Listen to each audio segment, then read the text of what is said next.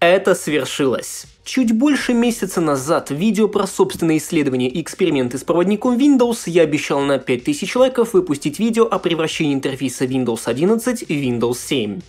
Мы набрали намного больше запланированного, чему я не только несказанно рад, но и удивлен. Так держать.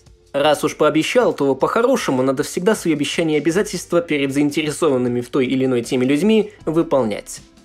В 2022 году, помнится, мы переделывали Windows 11 под Windows 2000, и как по мне было очень даже неплохо, пусть и не без нюансов, конечно.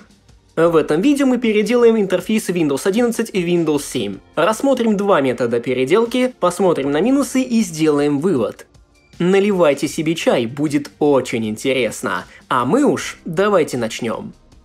За 40 лет винда от обычной оболочки для DOS выросла в полноценную операционную систему с огромным количеством инструментария, функционала и софта. Но не всех могут устраивать какие-либо изменения в плане интерфейса и функциональное новшество. И таких встречается достаточно, я могу их прекрасно понять. Например, станция метро Кантемировская за 40 лет практически не видоизменялась, и ведь никто не жалуется, хотя о таком дискуссировать на самом деле можно чуть ли не бесконечно – вернемся к изначальной теме. В данном видео, как мы уже сказали ранее, мы рассмотрим два способа или же метода переделки, как кому удобно. Начнем с самого простого. В феврале 2024 года на просторах интернета появился целый пакет под названием Revert 8+, позволяющий в пару кликов максимально приближенно превратить свой Windows 11 в любимую семерочку. Данный инструментарий был выпущен человеком с никнеймом Technic Staff, доступен на GitHub, и с июня 2024 года в репозитории проекта насчитывается аж 525 релизов. Уму непостижимо, вот это мотивация, не иначе. Установщик программы оформлен довольно симпатично, в стиле Windows 7, ну кто бы сомневался. Далее нам предложат выбрать способ установки. Стандартная, полная или выборочная. Стандартно установит основные приложения, игры, медиацентр и гаджеты. Полное делает то же самое, что и первое, но совершает множество патчей системных файлов. И если вы захотите воспользоваться центром обновления Windows, то нужно будет сделать некоторые действия. И, наконец, выборочное. Самое то для нас. Только вот э, эм, этот пункт не работает. Он не нажимается. Это последний на момент написания сценария релиз, билд 1101. Но бывает. Выберем Full и после чего нам нужно забыть об этой программе на минут так 20. Можно чайку попить, послушать хорошую музыку, траву потрогать или до продуктового по-быстрому дойти. На пике процесса установки программа занимала от 3 до 5 гигабайт места на диске, все скачивание компонентов и инструментов в обязательном порядке идет из интернета, хотя в GitHub репозитории проекта был файл getw7.exe и скрипт для PowerShell. Но сейчас этого всего нету. Странно. У нас применяется тема, закрывается проводник и во время перезапуска начинает работу Windhook. После установки программа радостно сообщает, что ее работа закончена, и после нажатия кнопки Close откроется проводник – только вместо открытия он что-то завис. Что-то мне это не нравится. После перезагрузки системы получаем такую красоту. А почему языковая раскладка перевернута? UVP не поврежден, иконки заменены хорошо, однако календарь и список раскладок здесь есть десятки. Минусов тоже хватает, об этом я подробно скажу позже. Смотрите видео до конца, это очень важно. Сейчас настал момент уже самостоятельной переделки системы. На протяжении двух недель я впоследствии с одним человеком из команды пытались адекватно построить шаги переделки интерфейса. Собственно, целью нашей задачи было следующее. Нам нужно сделать 11 винду похожей на Windows 7. В качестве основы берется 24H2. При этом использовать Windows Blinds категорически запрещено системные файлы не должны подвергаться замене, а найденные нами нюансы должны быть объяснены. Также хочу заявить, что все показанное предоставляется исключительно в образовательных и демонстрационных целях. Повторяя это все на своей хостовой системе или виртуальной машине, все осуществляемые действия передаются сугубо под вашу ответственность и все возможные риски. Все материалы будут выложены архивом в телеграм-канале. Думаю, можно приступить. Для начала нам нужно зайти в дополнительные компоненты и включить .NET 3.5. Он нам очень понадобится. После чего в обязательном порядке создаем точку восстановления. Вдруг что-то пойдет не так. Начнем изменения с проводника. Нужно убрать вкладки и сделать его более семерочным. В этом нам поможет программа Explorer Patcher. Доступна в GitHub полностью бесплатно. Важно помнить, что с 2024 года Microsoft отключает возможность глобального обновления с одной сборки на другую из-за Explorer Patcher. Они считают ее нежелательной. Да и Defender тоже ругается на эту программу, хотя ничего плохого она не приносит. Исходники открыты, любой может их посмотреть. Во время установки проводник перезагрузится, после чего правой кнопкой мыши по панели задач Properties и выставите все настройки таким образом, как указано на скриншотах.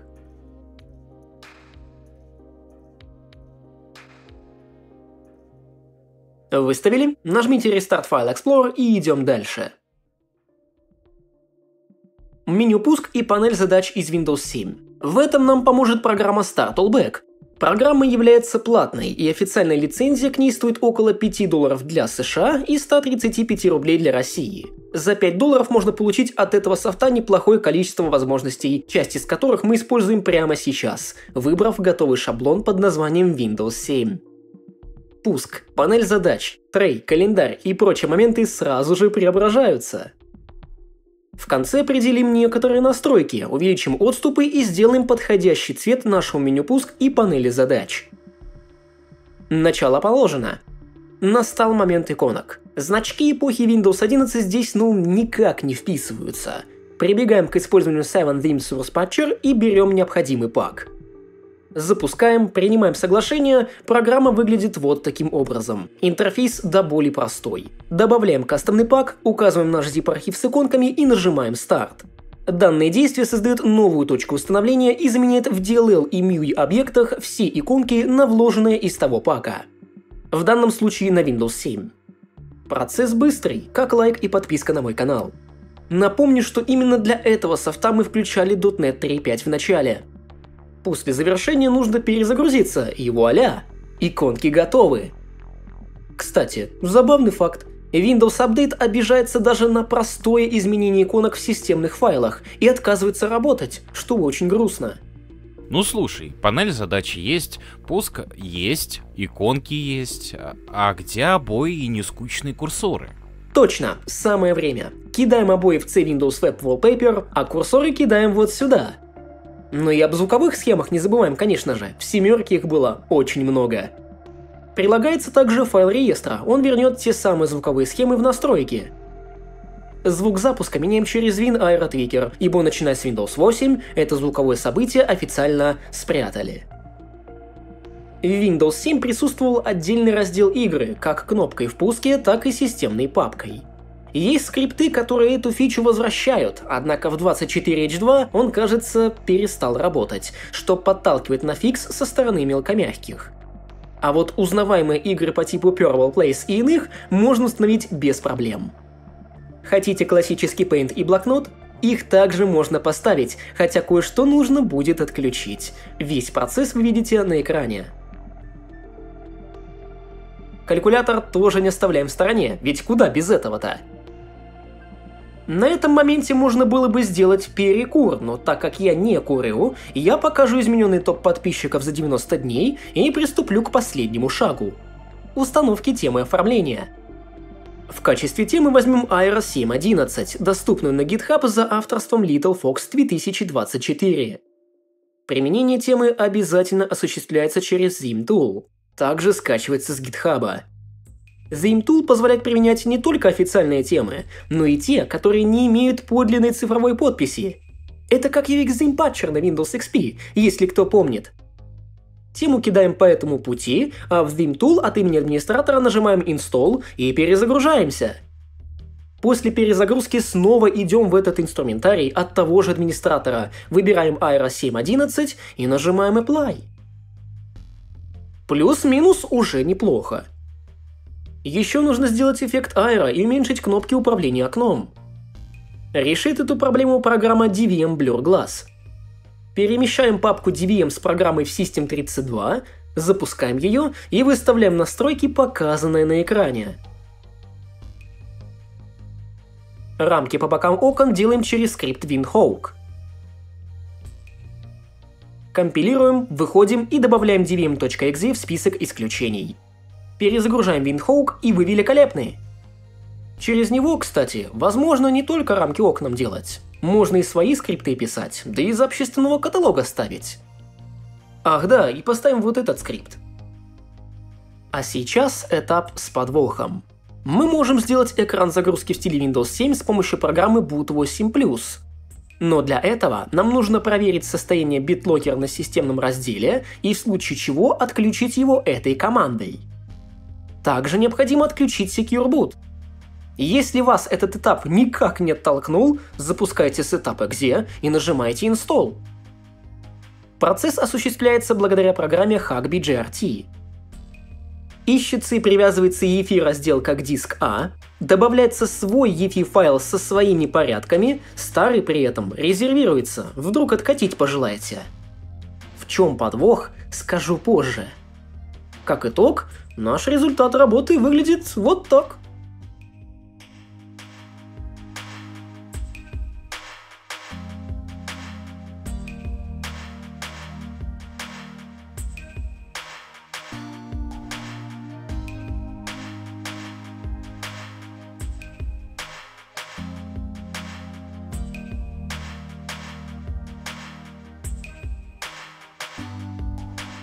Как по мне, это реально очень неплохо. Перейдем к минусам и начнем со стороны Revert 8+. Программа поставляет в себе темы оформления эпохи Windows 7. Кроме архитектуры и прочих всеми узнаваемых вариантов присутствует Basic тема и классическая. Применение подобного рода тем перестраивает DVM и перезапускает проводник. В случае с Basic это выглядит очень хорошо, а в случае с классикой очень грустно. Стоит напомнить, что максимальный опыт переделки этой программы предоставляется на Windows 10, что никак не удивительно. Теперь перейдем к кнопкам управления окон. Признаюсь, это буквально придирка, но скажу авторам, что без проблем есть скрипты, которые меняют размер кнопок, несмотря на тот факт, что в движке тем это все приколочено. Вроде мелочь, а будет приятно. Со звуковыми схемами точно так же. В настройках звука и реестре они не прописаны, но файлики есть. Также спешу сообщить, что если у вас к системе привязан аккаунт Microsoft, то этот софт вам противопоказан из-за тамошней реализации экрана приветствия. Во время тестирования одним из участников мы заметили, что экран входа циклично перезапускается и в целом не дает даже адекватно выключить ПК. Спросили тип учетной записи, вопросов больше не возникло. Теперь по поводу наших ручных деяний. Самая большая проблема – это экран загрузки. Для его работы, как уже говорилось ранее, нам пришлось отключать работу BitLocker и Secure Boot. Если на первое буквально можно забить болт, хотя бывали в некоторых случаях, когда из-за него не запускается операционка, ибо ПК просит пароль BitLocker, который, увы, вроде не просили сохранять в безопасное место, ведь он автоматом шифрует диск, то со вторым будет сложно.